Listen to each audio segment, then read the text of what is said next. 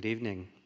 I'm Paul Martineau, curator of photographs at the J. Paul Getty Museum and venue curator of the exhibition Tim Walker Wonderful Things. The exhibition was organized by our colleagues at the Victoria and Albert Museum in London, and the Getty Center is the last and the last stop and the only US venue on a five-city international tour. It is my great pleasure to welcome you to this conversation, which will explore the fantastical visions of Walker, a brilliant creative artist who uses photography as his primary medium. It is also my great pleasure to introduce our esteemed panelists. Susanna Brown is a specialist in the intertwined histories of photography and fashion and the author of eight books, She's held curatorial roles at Britain's National Portrait Gallery and the Victoria and Albert Museum. The acclaimed V&A exhibitions Brown has curated have been displayed at more than 20 venues globally and include Selling Dreams, 100 Years of Fashion Photography, Horst, Photographer of Style, and most recently, Tim Walker, Wonderful Things.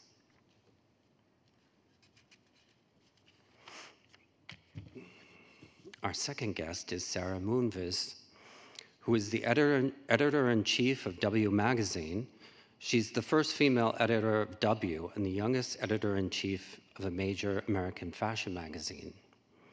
Under Moonves, W Magazine became an independently owned company called W Media, of which she is president. She has spent 15 years in fashion publishing. She was previously fashion editor at Vogue and T, the New York Times style magazine. Moonves and Walker have worked with such celebrities as Lady Gaga and Frank Ocean and transformed Tilda Swinton into the poet Edith Sitwell for W.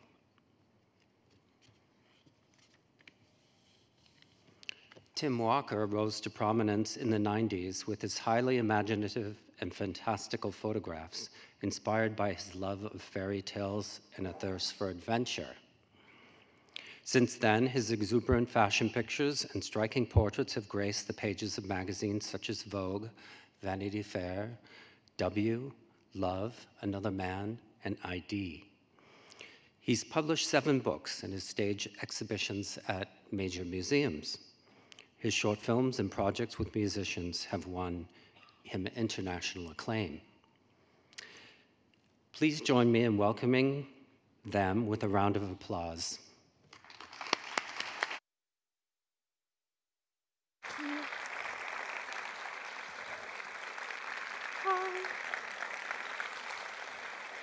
here.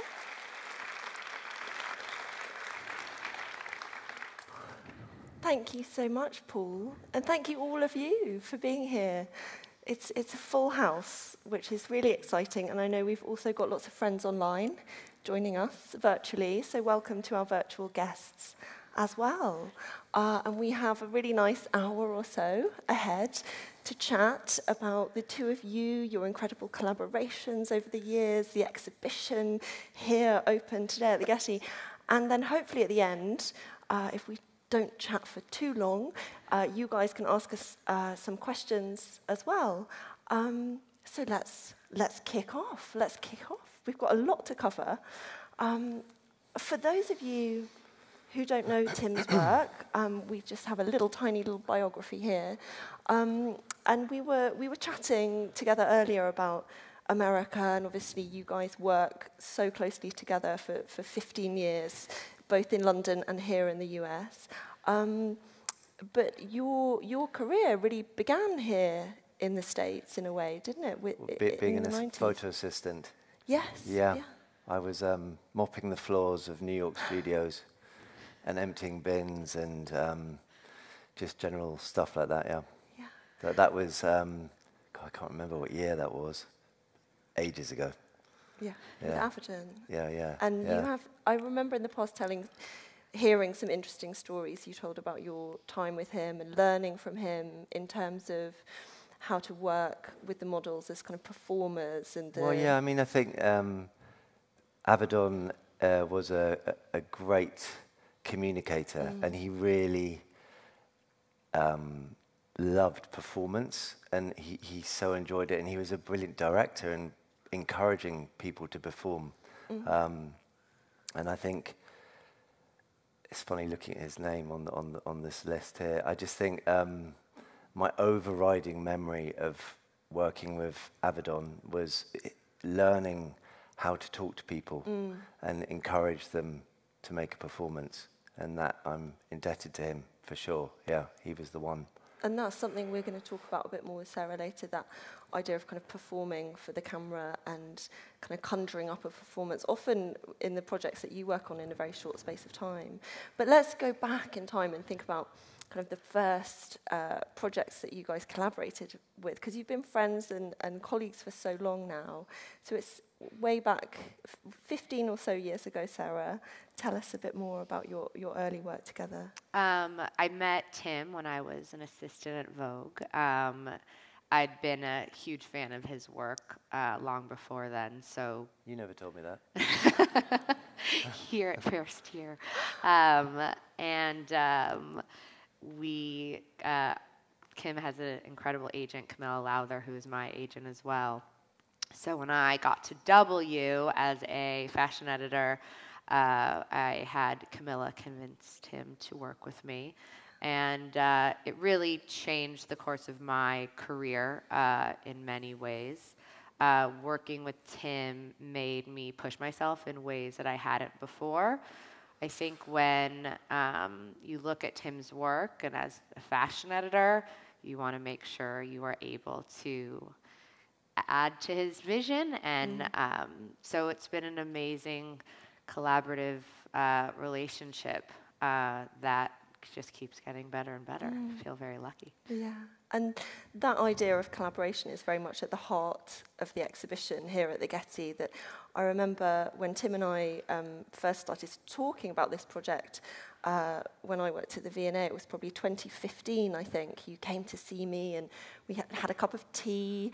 Uh, and Tim said, "Oh, you know, I'd love to do an exhibition at the V&A, and I'd really love my collaborators to be a part of that project and to really be seen and appreciated. And, and right from the start you you wanted to kind of highlight Well, think- the importance yeah. of your collaborators. I think that um, photo- with photography, people see the name of the photographer, but they, everyone forgets how just the conversations you have with friends, editors, writers, makeup artists, hairdressers, agents. There's such a it's it's a myriad of people that, that in, in a way it's like we took that photograph as opposed to I took that photograph. I always think that. Um, yeah yeah, it's like a, a myriad of people that make a photograph. and i think for you it's it's almost become a family hasn't it that there are so many people that you um, work with time and again and we'll, we'll come on to that um, in a moment that idea of, of kind of building relationships with collaborators But also, just to say, I think that something I noticed at the V&A and then again last night and sent pictures to everyone. All the assistants are always credited in Tim's pictures, which is a real rarity in fashion photography. So last night, walking through the exhibit, getting to take pictures of my assistants' names and text them and say, "Look, it's your name in the Getty Museum."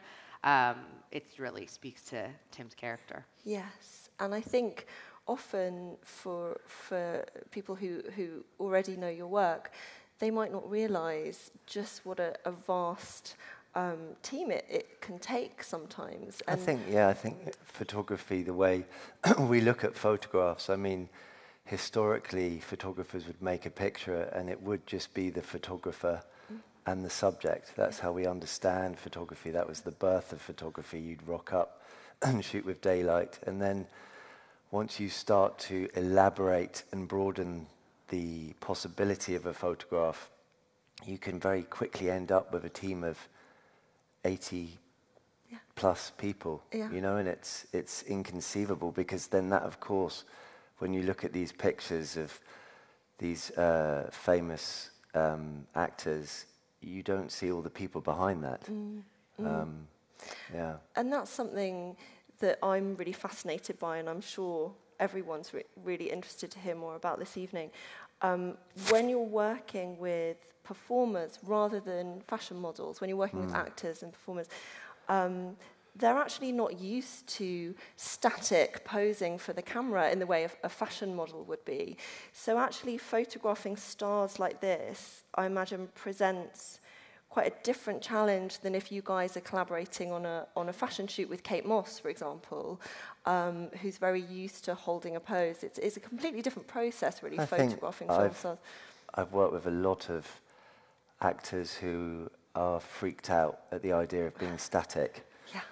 Because they're used to, to walking across a stage or in front of a moving camera, and then when you're saying, well, can you do that again? Or it's very problematic mm. um, and uncomfortable. And they feel very frozen in time. Mm. and I think that um, that's very interesting. And then I always think of photographic models, subjects, they're like silent movie actresses or actors. Mm. They're very, um, it's a silent thing and it's a frozen mm. thing that mm. is, a, is another gestural articulation that I mm. think's, um, yeah, it's, it's interesting, don't you think? Definitely.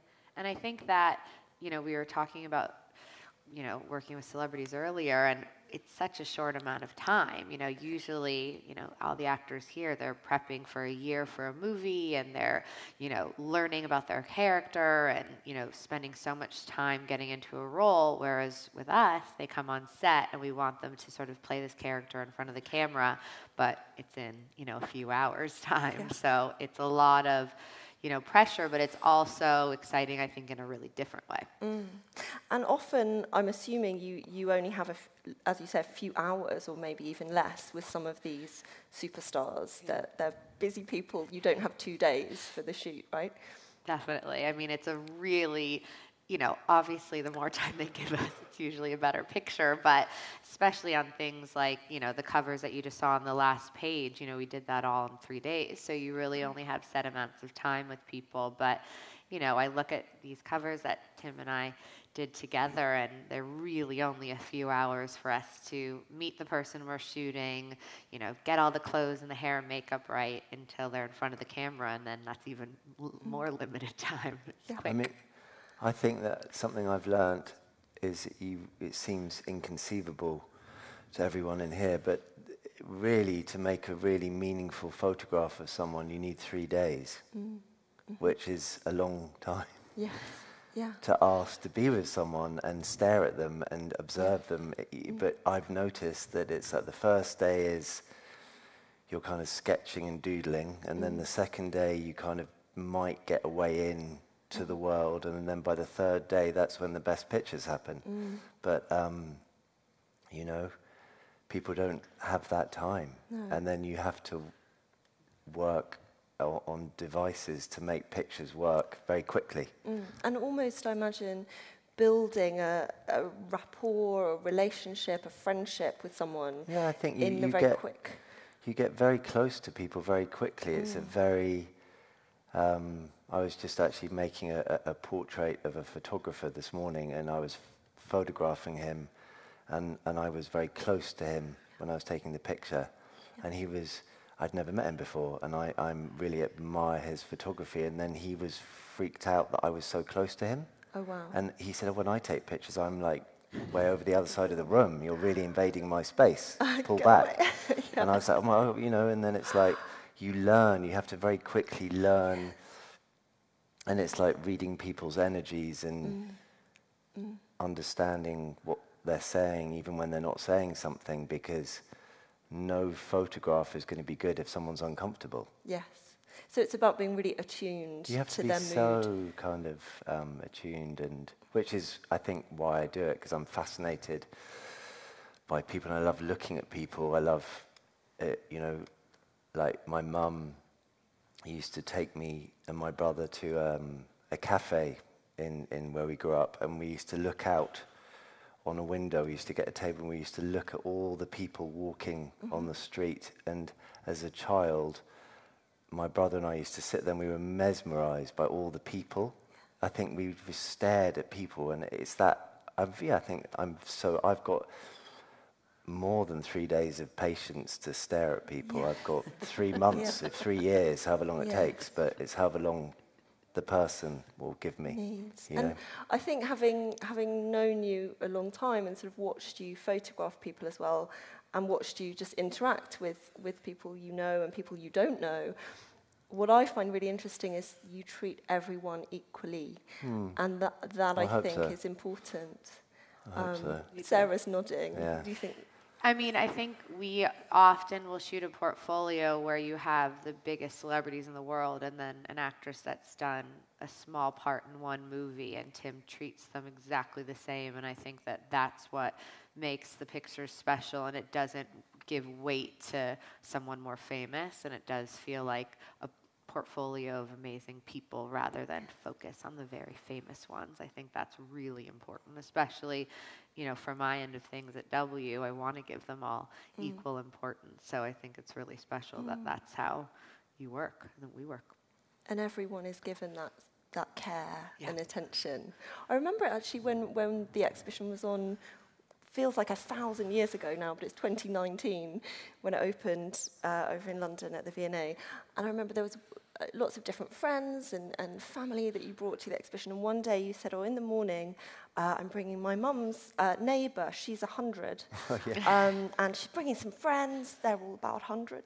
Um, and She, then she genuinely is 100. she is 100. Yeah, I remember. Well, now she must be 103. I think. Yeah, she still is. She is. And she was fabulous. And you said, and then we'll have a quick sandwich in the staff cafe, and then Harry Styles is coming. yeah. and it was the, the way that you treated those individuals was exactly the same, the way you interacted with them. And I think that's what you bring to your shoots, that, that mm. sense of care and attention to, to everyone in a very equal way. And then, as you said, a, a fascination for everyone, no matter who they are, no matter what their story, you're very interested in individuals, I think. Yeah, I think that um, everyone has got something special I, I really do. I wholeheartedly know, actually, that everyone has something special. Mm. And I think that's the responsibility of the photographer to see what that special thing is mm -hmm. and make a picture about that. So, yeah. And often your pictures um, are sort of deceptively simple. I think some people know your your work with huge sets and very kind mm. of elaborate props and you know you you guys work for months planning those shoots But sometimes, like these images, they're very um, spare. I guess is. I is think that's um, a reaction to the uh, the complication. In fact, now I, I actually find it very difficult to take a picture in a complicated place.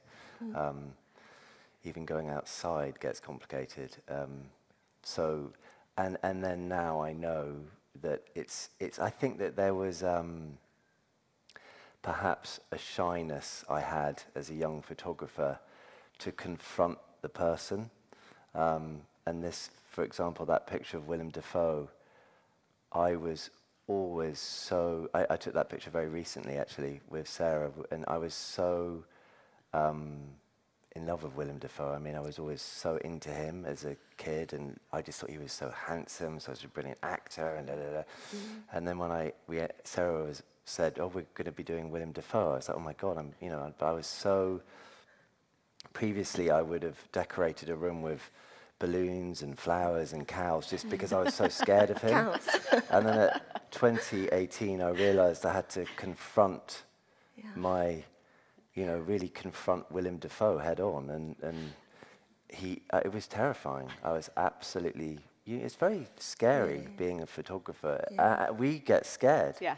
Do You know? Well, you Yeah. have all these plans. I think, you know, we, before this shoot, we'd been talking for months and exchanging ideas, and you put so much together, and then you get there, and there's a lot of it that's left to chance. Because if Willem Dafoe got there and said, I don't want to wear this, and I don't want the smoke, and I don't want, it's like you have to pivot quickly, and you have to sort of think fast because there's not a lot of time and you want to make the best image possible and i think that there's even another level when it's someone you've been a fan of because you really want to do a good job. So it's very you know challenging but i think that's what also makes it fun. And even the timothy picture that's absolutely not what we had thought about or planned at all but it ended up being i think one of our favorites from the whole series hmm.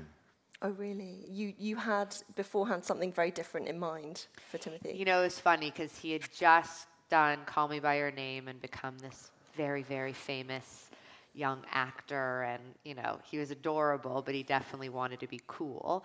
And so he had a lot of ideas about that and the clothes and whatnot. And you know i think this captures his sort of amazing innocence in that moment. But i definitely don't think that that was something we had thought about before. Mm. But you know, this is such a moment in time that I don't know if we brought him to set today, it would be the same experience. Yes, yeah. Five years on, he's probably quite a different person. Exactly. Well, I hope he is. yeah, yeah.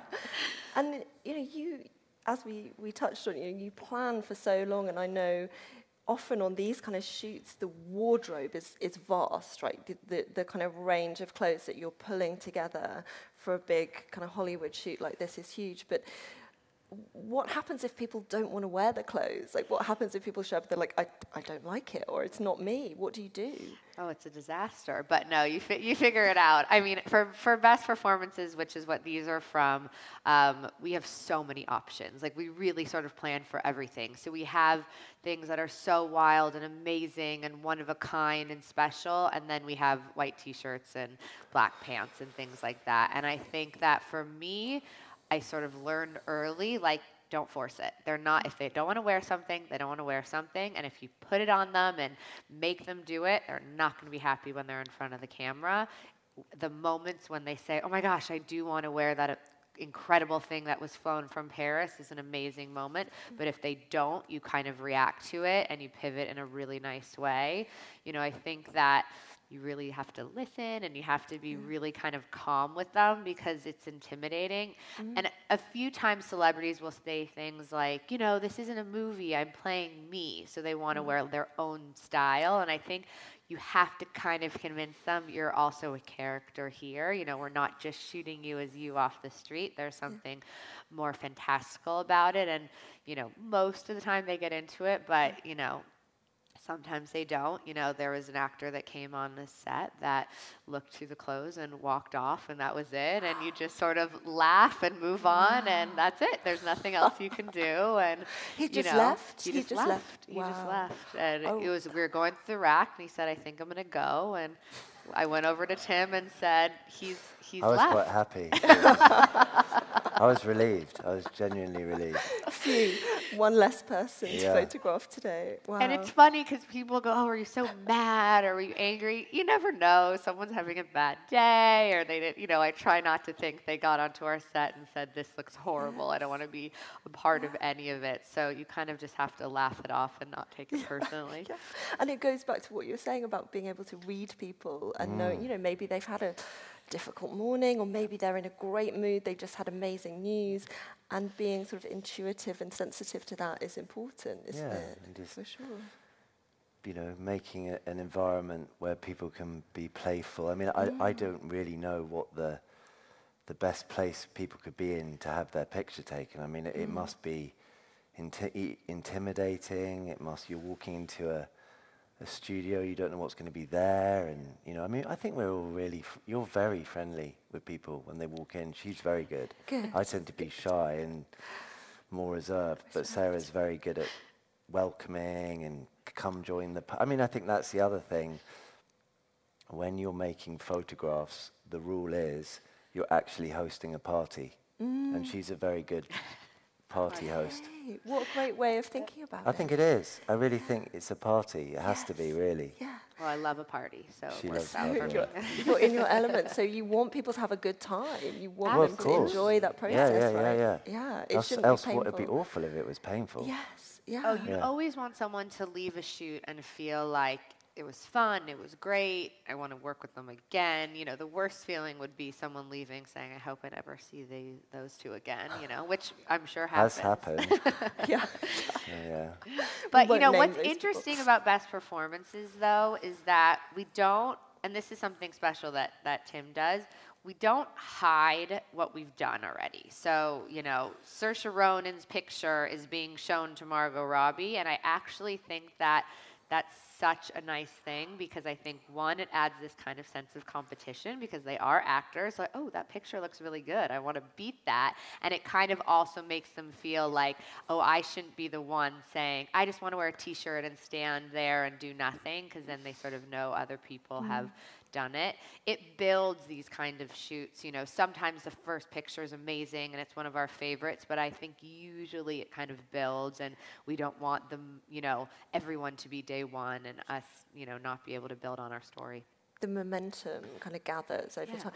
You just mentioned Margot Robbie. Wasn't it Margot Robbie who was very kind of playful and fun? And I forget the story now, but wasn't there a story about Margot? Oh, we, just that we when we we she came onto the set. Um, I don't know why we came up with this, but we wanted to paint her pink, and This was years before Barbie casting. we know nothing about that. yeah, but she um, she was really down for it, and Yeah. she was really into it. We didn't use the picture in the end. We used the picture when she wasn't pink, but she got painted pink, and she looked great. Yeah, I bet. I wish I could show you the picture. We don't have that picture, guys, but you can kind of use your imagination yeah, for that yeah. one, I think. I do think that the Barbie people had that reference somewhere So- because it was too coincidental. Yeah, that's a point of inspiration for sure. Um, and you talked about that idea of people wanting to return. You know, people have a portrait taken or work, work with you and then you want them to fe feel positive and leave that experience thinking, when can I come back? When can I have my photograph taken again? And I think um, Tilda Swinton is a great um, example. I'll come back to these paintings in a moment.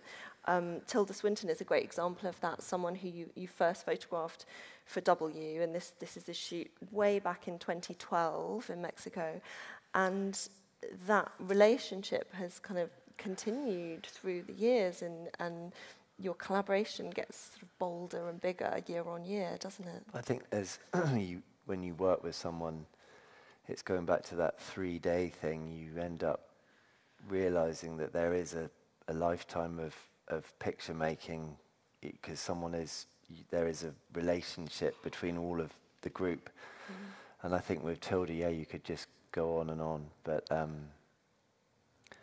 yeah, that was, um, that's a, a great relationship to have with someone where you can keep going back. It's such a, a gift for a photographer to, to make a relationship with a subject and just keep photographing them. Yes.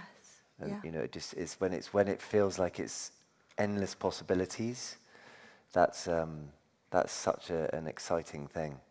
And I think this shoot, I'll just show a couple more of those pictures. I mean, they're all extraordinary and there's so many of them. But this shoot, I guess for me, as a curator, sort of made me realize for the first time how very closely your photography is aligned with painting that, and fine art in, in all its forms, that so often um, the starting point or the spark uh, of inspiration for what you're doing comes from um, historical works of art, in, in this case, um, two female artists in particular.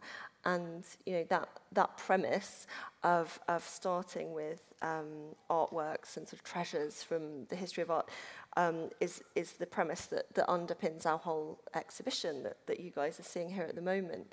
Um, but can we talk a little bit more about this shoot with Tilda and the particular um, references for the project? Uh, I think, in fact, I think um, it was really working with Tilda and um, Jerry, who is Tilda's creative director. Jerry researches bef- before we work together. He'll look at ideas and bring things to the table. And in fact, I think that was the first time I really was looking at a multitude of references. The first time I worked with Tilda, we were referencing The Wizard of Oz, David Bowie, so many different things, and that whole possibility to raid so many different ingredients from the history of art, contemporary to ancient. And this particular shoot, we were looking at Leonora Carrington and Remedios Varo. And if you look at all the little characters in the Carrington painting, you can really see where we pilfered all the hairstyles and the and, and that yeah, I mean that was actually that going back to the caterpillar one. I don't know whether you can all see, but the the on Tilda's eyebrows, they're, they're actually caterpillars that were crawling around the jungle, and we picked them up and we were positioning them, and they were wriggling, and then that's a, a, a beetle on the orchid that she's holding, and and the eyebrows were moving as the caterpillar. It would actually be better as a moving photograph. Shame it isn't moving actually, but they were moving those caterpillars. so um, you're you're mixing painting and Leonora Carrington and surrealism and and the the idea of the surreal being a caterpillar on a leaf, and then you just end up putting it on the eyebrow, and then that Yeah. all those serendipitous elements. And even a Which is what decade. Sorry, sorry. I was Yeah, just yeah. going to say, even a decade later, I feel like shoots like this really um, stick in your mind. And I remember Tilda saying very recently, oh, those, those caterpillars smelt like marzipan. And like her memory of this moment They was did. very vivid. Yeah, they smelt like a. they really did, like a marzipan. They, was, I don't know what it was, the pee of the caterpillar because they were scared. I don't know. but it was smelt good. Fragrant caterpillars. Mm. And we'll talk more um, about your work with Tilda in, in a moment, but I wanted to, to move on now to, to kind of go back in time to 2015, 16. As I say, that was the moment we, we started chatting about the possibilities of the V&A Museum as a, a place for an exhibition and, and the possibilities of using the collection as a, a starting point for new photographic shoots, which is what all of you see in the exhibition here. Um, and I love these pictures of you. This was in 2017, but you, you spent about a year or a little over a year, mm. um, I guess, mining the collection, exploring every uh, nook and cranny of the museum. And, and uh, for those of you who haven't visited the V&A in London, um, there are seven miles of galleries and corridor spaces throughout the building. It is truly vast, and I think you covered every inch uh, of the museum Yeah. in that time. There was a lo- I do tend to get obsessed. And yeah, really, uh, yeah. Anyways, that which took a long time. I mean, but we climbed across the roof. We sort of mm. hiked over the roof. Mm. There's beehives uh, on top of the museum. We, we visited the beehives. We went into the air conditioning kind of ducts under the Victorian building, which is very Alice in Wonderland. Do you remember those mm, little yeah. corridors and tiny quite doors? Scary. It was quite claustrophobic experience. Um, but I think these three portraits of you kind of sum up that that year or so very well. That that sense of real exploration and you were very interested in seeing the things that weren't on display as well. You're very interested in um, meeting the staff that care for the collections, the um, curatorial staff and their assistants, the conservation staff, the framing specialists, and so on. Um, and you met dozens and dozens of people throughout that time. And, and in, uh, I apologise for the quality of my phone snaps, but this is you kind of exploring behind the scenes here, isn't it? And these, some of these pictures are actually taken at the Museum of Childhood as well, which was a really interesting day when we looked at um, sort of 17th and 18th century children's clothing. And um, I don't know how well all of you can see it on, on the slide here, but we got into quite a long conversation about fashion and danger and that idea that um, historically a lot of the dyes and fabrics used potentially were quite, excuse me, quite dangerous. Remember, we had a long conversation about toxic um, dye that was historically used, and then we got talking about crinolines and um, the fact that crinolines, because oxygen gathers beneath the hoops of a crinoline and it's very flammable. And then, just as we were talking about that, you started drawing a photo shoot. That's a sketch of an idea you had about crinolines and catching on fire. And if you guys can't read it, um, it says crinolines on fire in a church, which is a, a, a true story. Um, what's the story behind it? Ask Susanna, that's me. Why? Killed by fashion, um, poison laced into Elizabethan dress. And there were all these ideas kind of rushing out from your imagination as I we do, were looking I, at this. I do think that fashion is quite agonizing. Yeah, like, if you look at, do you not? I mean, it is. I agree. It's quite painful. Yeah. You know, and uh, always for women and increasingly for men, I think that it's this strange sort of torture we put ourselves through. Yeah, I mean, watching a woman walk down a, or a man walk down a runway at a fashion show isn't exactly looking at them being comfortable in any way, and that's where we grab all the clothes from. So strange. But I think that both of us gravitate towards the things that aren't so comfortable, whatever that means about us. But it's always like even this picture here, you know, and then we did, which you'll see this um, photo that's in the show of these Valentino dresses, but they're made by Moncler puffer jackets that we had models standing on huge ladders that were sweating, and it was this sort of very dramatic uh, moment, but it was worth it. and y- you always end up with the wrong clothes for the wrong time of year. oh, So I, I know that if I end up wanting to photograph someone in puffer coats, it's going to be a very, very hot day. Yep. And then when you're doing, you know, n- no clothes, it's going to be very cold. It's just a rule of thumb. I now know that. Wow. Wow. Yeah. Because a lot of the shoots for the exhibition took place in a, a wildly hot English summer. Yeah, that was yeah, that was serendipitous Mm-hmm. and useful for the light. Um, yeah, but that's something that you you as someone that goes and regard you look at a photograph, you don't know that the f- all the the choices the photographer didn't have. You have to just work with the weather, and sometimes you know blazing sun is very difficult to work with and.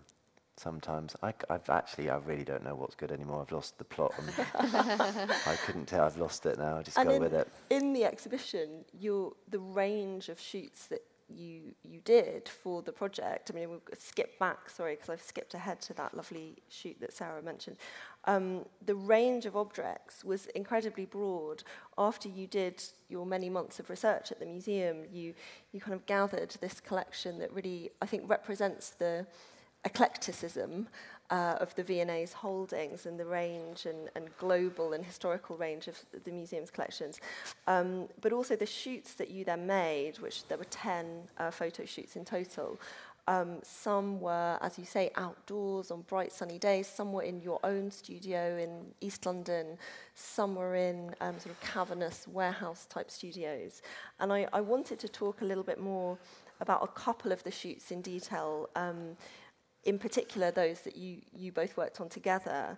Uh, the first of which is this, um, called Illuminations.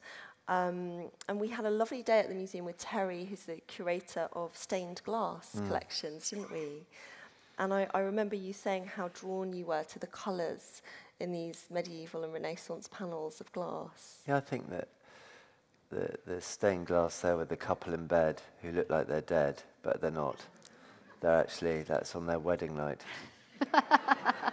um, and they've got a little dog that um, represents faith. I think. Did it? Right, Oh, yeah, yeah.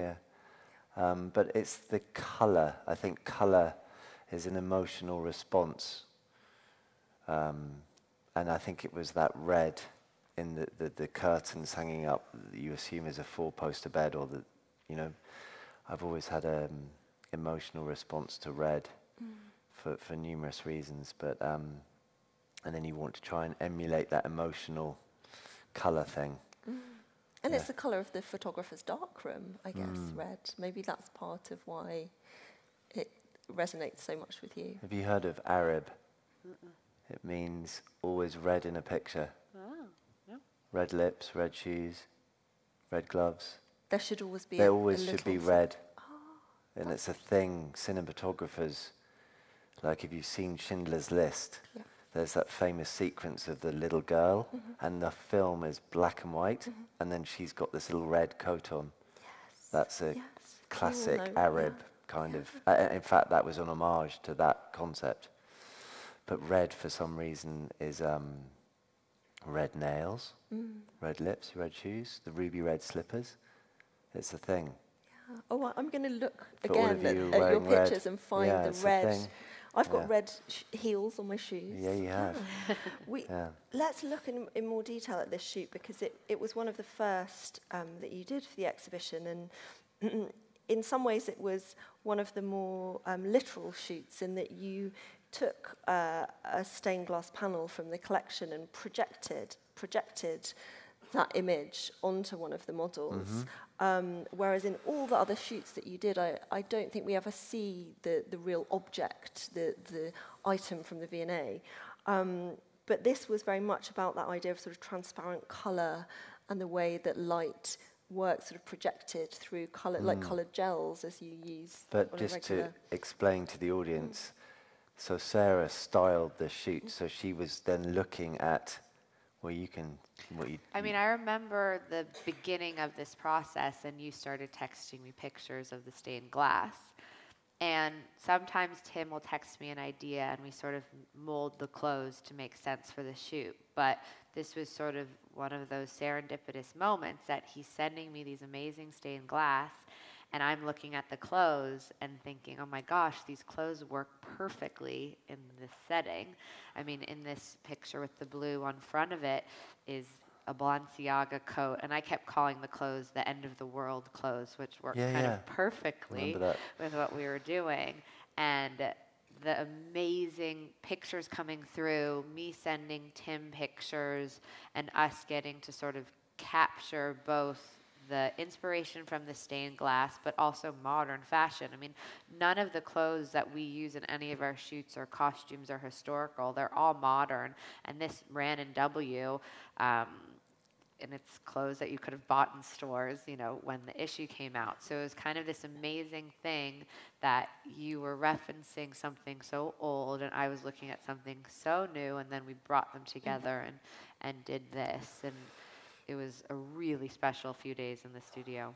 I mean the the picture there, I mean, you would think that we got those hazardous jumpsuits from some, you know, crazy fireman warehouse, but it was actually Calvin Klein, you know, it was very fun. And this is quite a direct reference to those figures in the bed, actually, as well, isn't it? They're, um, They look a little bit more alive. they're, they're definitely not dead. It's interesting, actually, seeing the exhibition here at the Getty, because at the V&A, this was the very first shoot that, visitors walked yeah. into, whereas actually when you guys visit the exhibition, you, you see this a little bit later. Um, but in terms of chronology, I think this was one of the first that you shot, and it was it was closely followed by um, the shoot with Tilda, um, in which she sort of conjures the spirit of um, Dame Edith Sitwell, who she, she am I right in saying she's actually related Yeah, to Edith Sitwell, yeah. isn't she? She is. And this is a photograph by Cecil Beaton. Beaton, of course. and that's you something love. that you were looking at. I mean, I think Sara was, aga- you were just sort of like, and then Jerry sent us that whole plan of he, uh, Jerry, who works with Tilda, he was like, it's all about it all in the hands, Mm. everything. So if you look at the pictures, you're going to see a lot of hands, Mm. because that's how she articulated herself, Edith Sitwell. She was very much about rings on the hands and and that's what we then did. If all the photographs that Beaton took of Edith Sitwell, it's always very beautiful with the hands. So that's what we were looking at. And then you you bought loads of rings. I Lots remember. of rings. I mean, this was one of the most exciting and fun shoots to prep for. Um, just digging into the history of Edith Sitwell. Also, you know, Tim letting me into his world with Tilda. You know, they had already built this relationship, and I was so excited to get to work with them in this capacity and in this way. And it's sort of a dream project being a fashion editor because get to dress Tilda, but dress her in this way. And the way we worked on this shoot was we brought, I mean, I think I had hundreds of rings, tons of fabrics to wrap around the head, and we all went to this teeny B&B the night before and tried on hundreds of clothes. I mean, I have hundreds of fitting pictures of all of us in this teeny little room with racks and racks of clothes and piles of jewelry and we really had fun and played dress up and really got into it. It didn't feel like work in any way, not that most of the time it ever does, but this one in particular felt like we were just having so much fun and it did feel like we were making a movie in a lot of ways.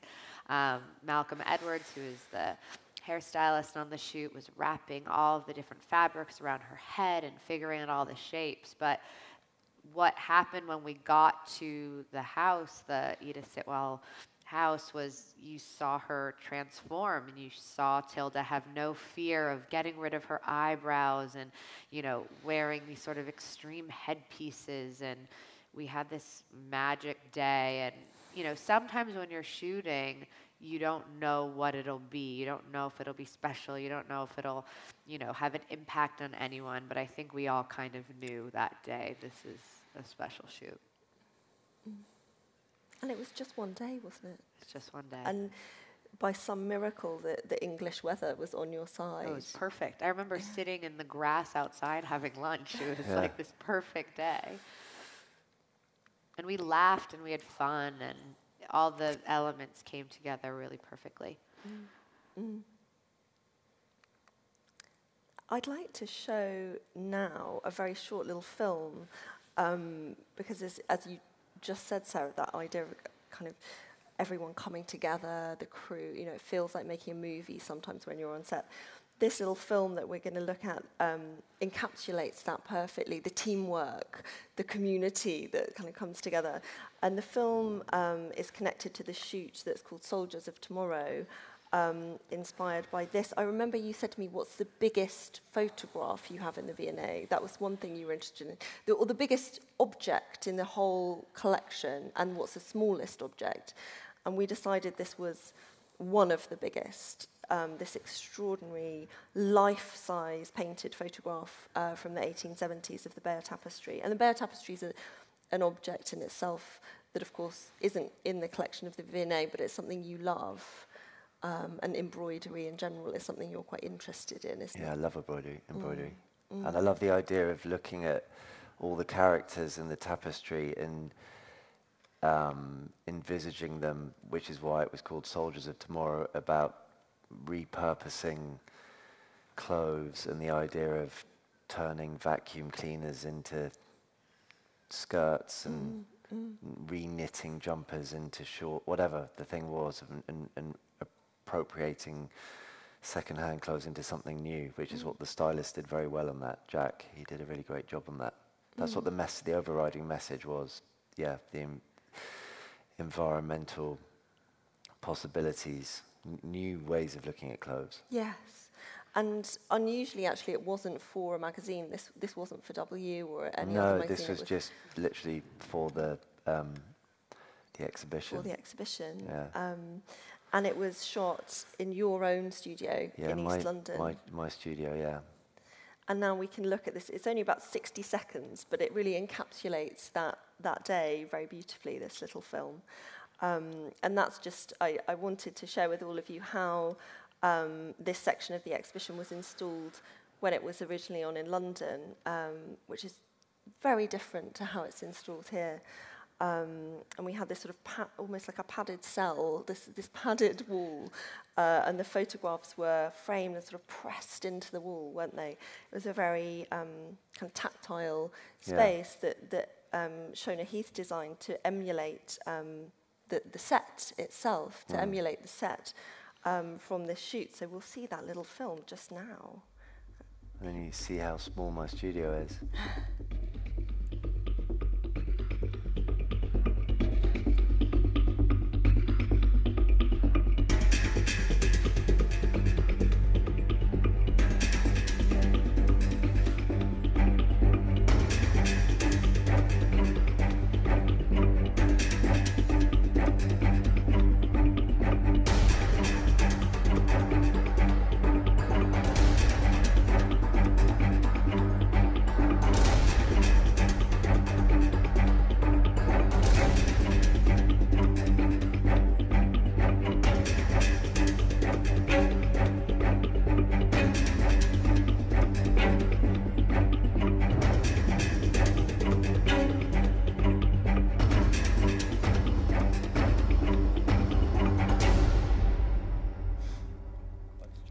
Music.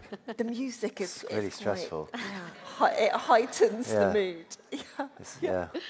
And what I love is when you look through the window, you have the kind of morning sunshine, and then it's completely pitch dark by the end of the shoot. Oh, it's yeah. a long day. And we've got one other little film here um, because we, we wanted to sort of highlight um, to all of you that we've made lots of different films for this show, um, sort of behind the scenes with, with all of Tim's collaborators. Um, and you can see them on the V&A website. But we, um, we were talking about Malcolm, or Sara mentioned Malcolm, um, as one of the hairstylists you've worked with for, I'm not even sure how long, it's 20 years. Long, long time. I mean, I've worked with you with him for 10, so Yeah. probably a long time. Yeah. And, and we're going to hear from Malcolm uh, and some of your other collaborators in this, in this next little film. Um, and then we're going to move on uh, to talk about the extraordinary new pictures for the Getty uh, and have some time for questions at the end. So this, this is just a two-minute little film um, that's called Working with Tim Walker, uh, Makeup and Hair. And you, you really get a beautiful glimpse uh, behind the scenes um, of some of those photographs in the exhibition.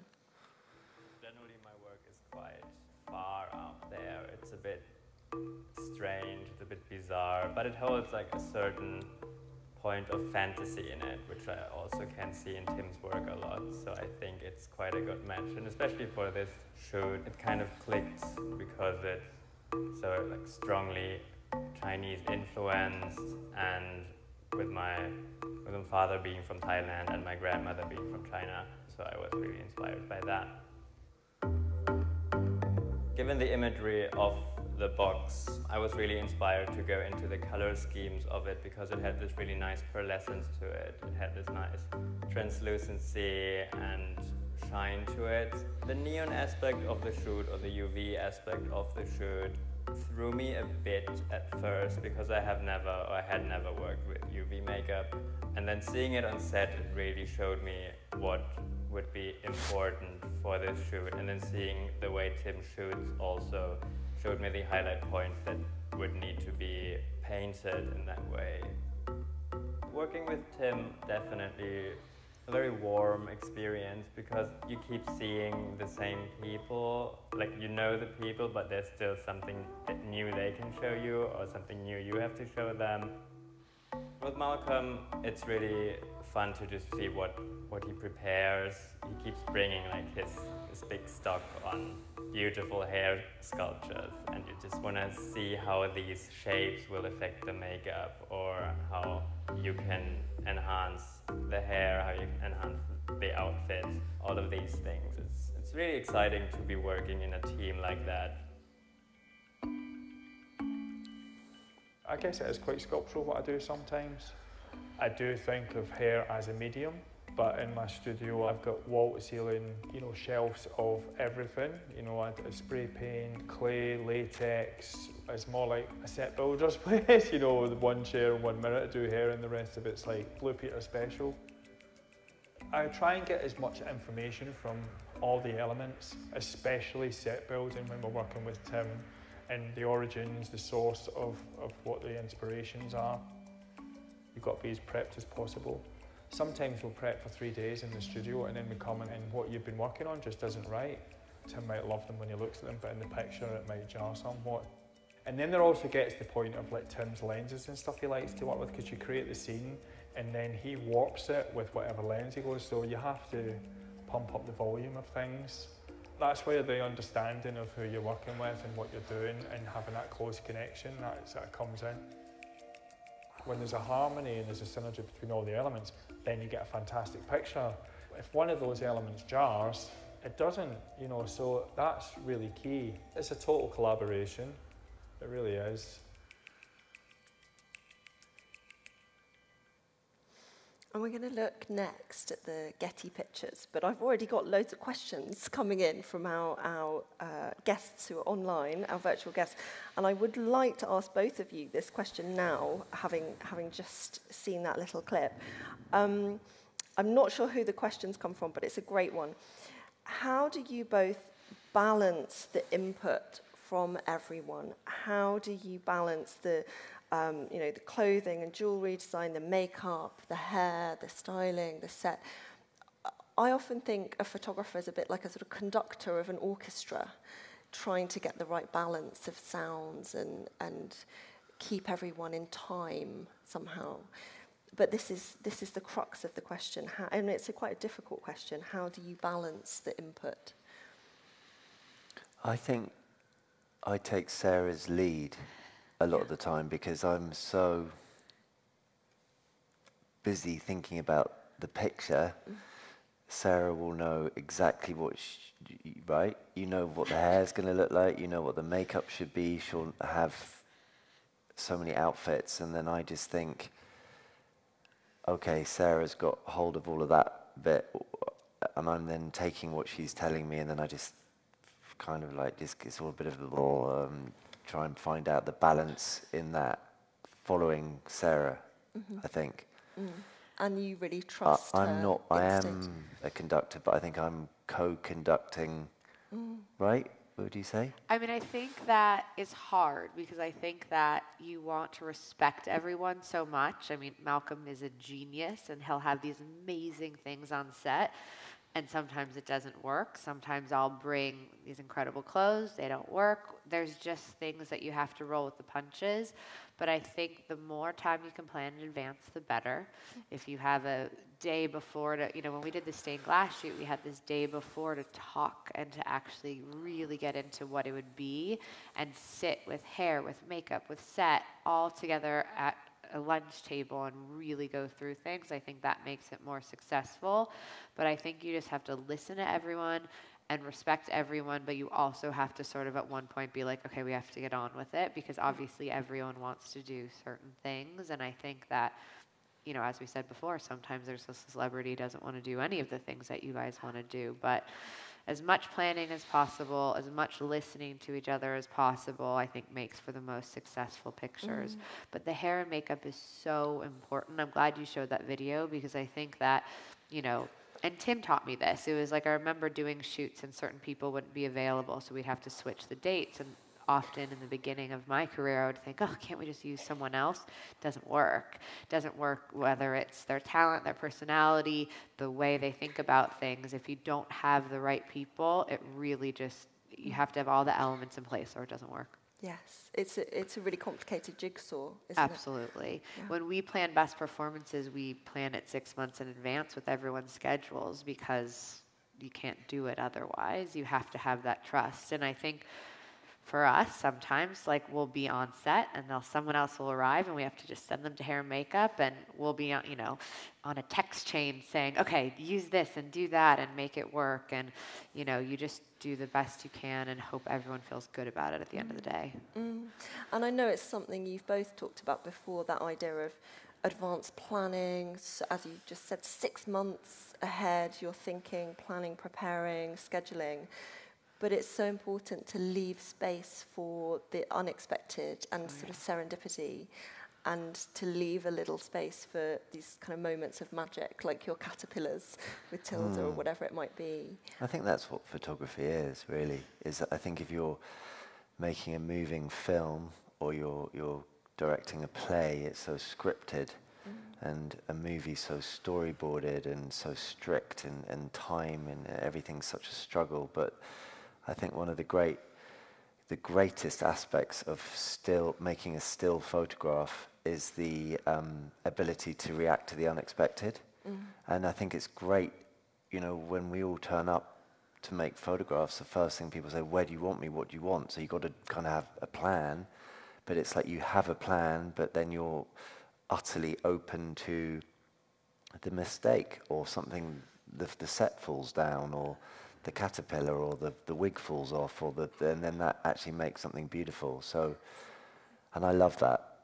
I think I really have learned to um, really utterly embrace that um, chaotic aspect of, of the photograph and the privilege of being able to turn the camera from here to here because something more interesting, unscripted, and exciting is happening here. Yes. And that's what makes a picture. And I think that's this, uh, uh, it, going back to this question, that's a balance, isn't it? Yes, it comes back to that idea. and, and, and you being open minded to that, you know, and us all, and you know, Sara might have spent hours on the phone begging to get a, a dress from Paris. And then in the end, I'm like, well, no, it's not about, it's about the t shirt they've turned up in. Yeah, yeah, the white Heartbreaking, The but we white t-shirt. Yeah. we were shooting a model. Um, I mean, this must have been 2018. This beautiful model, and we were shooting her in sort of this prom dress. She had red hair, and it was kind of this amazing photo.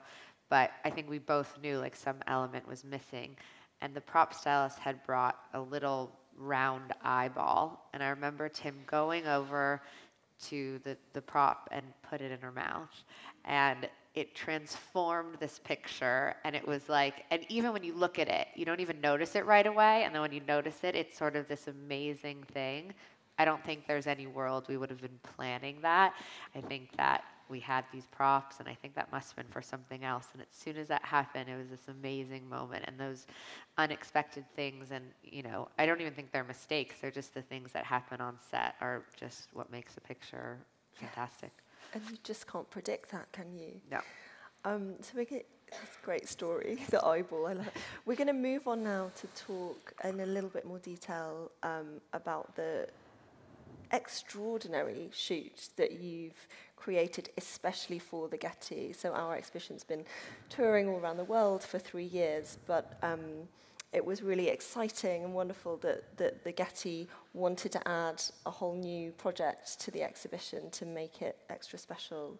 Um, so you began your research into the collections and, and looked at lots of objects, but these are the two objects that really touched you.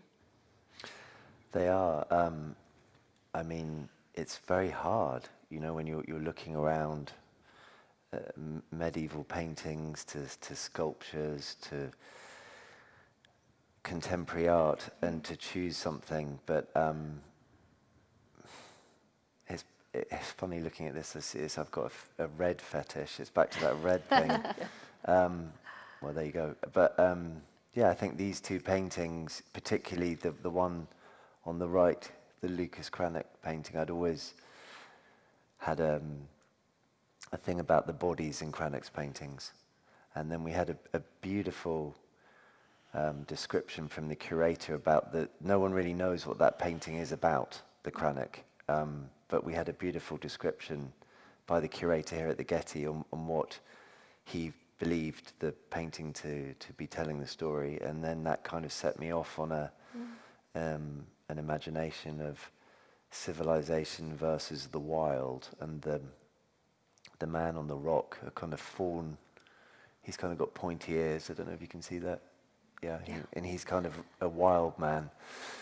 Uh, he's called a faun, and he's kind of representative of possibly the dangers and the chaos of nature and the wild. And, and the mother of the two children represents civilization, and she's walked down the rock from the, the town and the slain lion, the dangers. I don't know, there's just something about um, the excitement of going into the woods that caught my imagination, and and then the Annunciation, the Bouts picture. Um, it's just the fabric, I think, in that the angel, and looking at how it feels so 3D, and the red fabric on the wall, and the hand gestures. There's such a serenity to the, the dress and the, the fashion, the mm-hmm. fashion, the clothes, mm-hmm. whatever on, on the left, and then the nudity on, on the right, and what that means to me. I think mm. it's the, the dressed and the undressed. Mm. Um, yeah, I think that, that really caught my imagination, and then the pictures, the photographs were, were an exploration into the two worlds, how I imagined it, and going into the woods in, a- in a studio in London. And particularly these images of the drapery, Mm. straight away you see that Yeah. connection to the painting. Yeah, and also the people, again, the sort of the people that we cast. Oh, that these are great. You can see the woods, the interpretation of the woods, and all the bodies in the woods, and all the different bodies, and a body that was painted in 1550, and what was perceived as beautiful in 1550, and then what we perceive as beautiful today, and mm-hmm. who we are and, and how our tastes are reflected and what does that mean. It's such an interesting thing, I think. And I was fascinated to see how you created these, these kind of objects from the photographs. These little, almost they become like a miniature painting. Yeah, this was done to the set. It's actually, I'm looking for a window. It looks like a plate, but actually, I just got a piece of card and we cut a hole in it, and then I held that in front of the camera, so it looks like a, a plate or a tapestry. But I was photographing through a window right up to the camera, and then directing Salvia and Lewis through that. And then, and then I, I remember when I was taking these photographs, it was very much a story that Salvia was a sort of princess and she was picking fruit. Mm-hmm. And she was trying to reach to get a, a peach or an apple. Mm. Anyways, yeah. I've always got a story in my head when I'm making a photograph for myself Yes. that's a narrative that I follow. So I, even if everyone else has lost the plot, I, I've got a plot. Yes, you know the story. I know the story. Yeah. Yeah. I think some. Yeah. And quite early on in your process, if you're working uh, with a stylist like Sara, you, you would share that story, that yeah, yeah. narrative. And we, we know. We always talk about the Yeah. plot. Yeah, we What's talk about happening? the plot. Tim makes these amazing sketches that you were talking about earlier, or little notes, and then we start sending each other just things we see, Mm. which makes it so much fun. And then sometimes, yeah, we sort of we have lost the plot and we don't know what we're doing. And then we have to take five minutes and go off and start again. And it's, yeah, it's sort of that's part of the struggle, isn't it? And the enjoyment of it, right? We were laughing earlier because when we did best performances in the first slide, you saw um, Tim was talking about sort of foam and these beautiful kind of sculptures foam could make. And he was sending me these amazing pictures. And then for whatever reason, I Googled foam party. And then it came back like people on spring break in Cancun, like getting drunk in these like foam spaces. And then I was sending it to him and I was like, wait, wait, wait, we've gone totally off course here and needed to get back on track. It's when when I talk to both of you about your your work and your collaborations.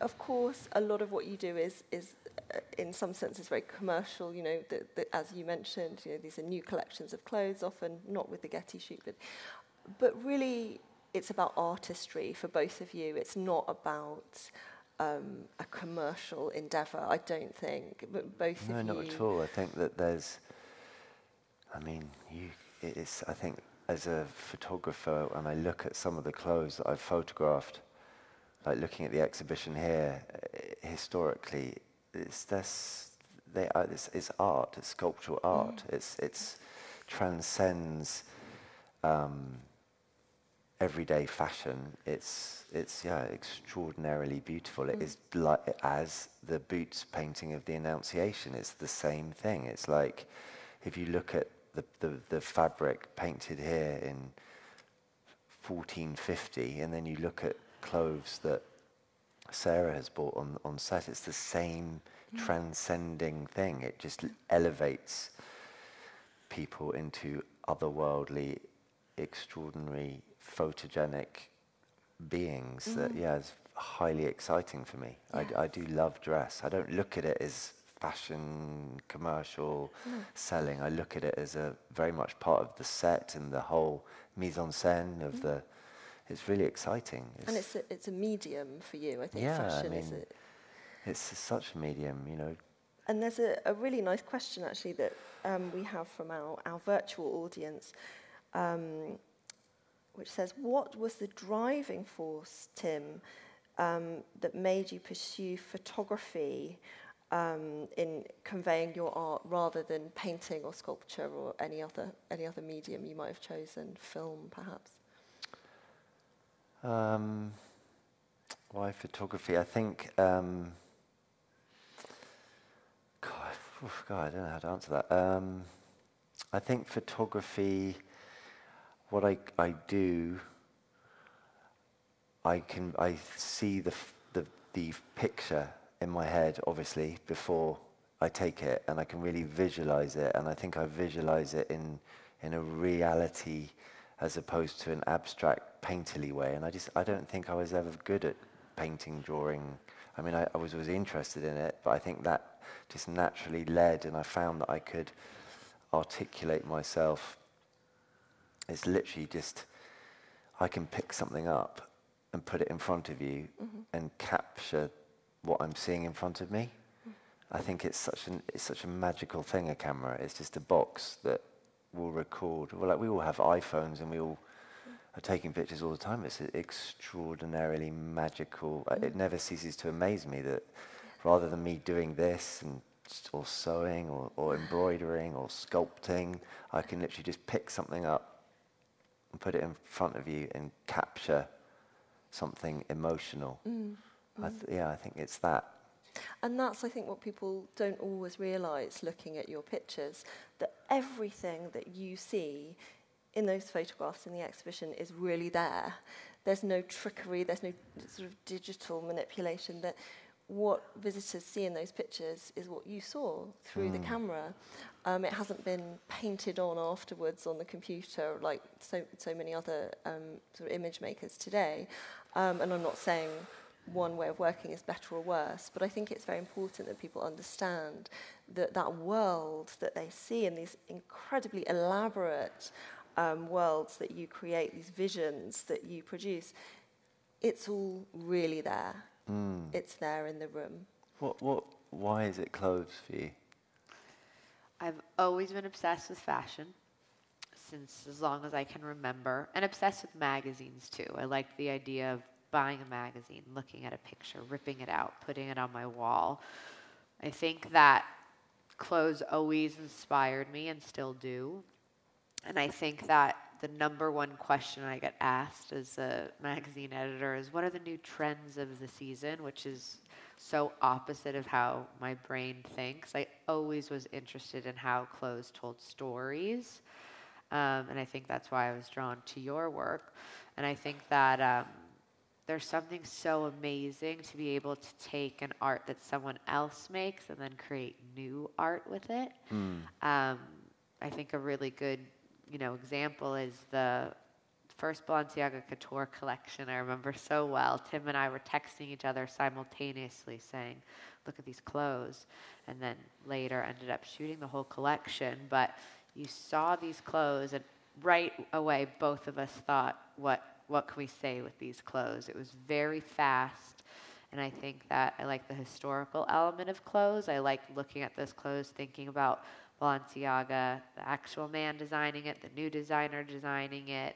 And I always like being able to interpret it in a different way. And I think a lot of fashion editors don't like working with celebrity because they don't always do exactly what you want, as we've spoken about quite a bit tonight. But I always liked that challenge and I liked being able to create characters with them. And I thought that was always a fun challenge to put the clothes that you visualized on these really famous actors and actresses. Yeah. And I love that word you just used, challenge.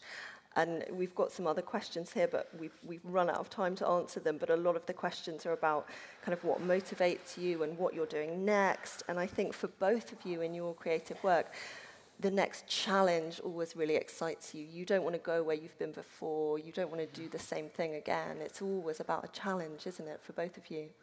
I think neither of us take on work that doesn't feel inspiring or exciting. Definitely not together at all. There's obviously commercial things both of us do that is part of the job, but I think um, so exciting to think about what will we do next for the next best performances we do. Like those are the, th- you know, watching a movie, seeing an amazing performance, seeing a great fashion show, and then thinking about what can Tim and I do together with all those different elements is like that's why I do what I do. It's so exciting to think about it.